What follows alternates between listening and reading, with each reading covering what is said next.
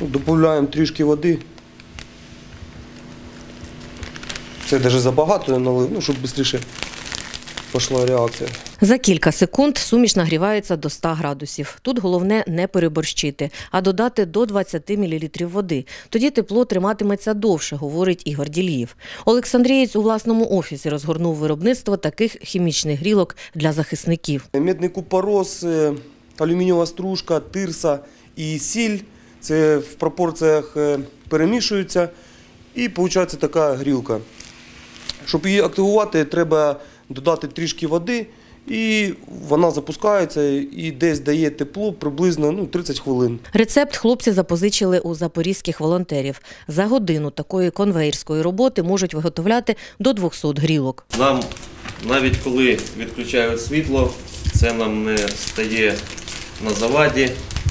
Ми включаємо фонарі і спокійно можемо продовжувати свою справу. Влітку команда Ігоря Ділієва виготовляла сік для захисників. Самі доставили на фронт не одну партію продукції, як власної, так і зібраної волонтерами.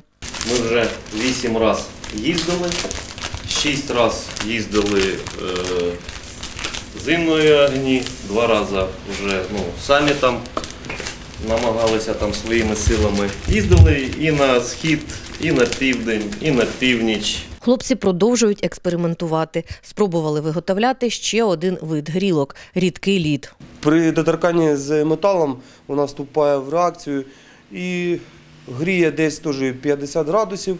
Ну, виходить, десь півтора часа вона працює.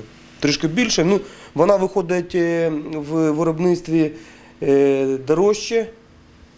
Ну, і виходить, вона все одно така одноразова, виходить, тому що на війні їх ніхто не буде перезаряджати. Але таке виробництво більш витратне і трудомістке, тож вирішили поки зупинитися на сухому варіанті суміші. Собівартість такої грілки е, 3 гривня 50, 50 копійок.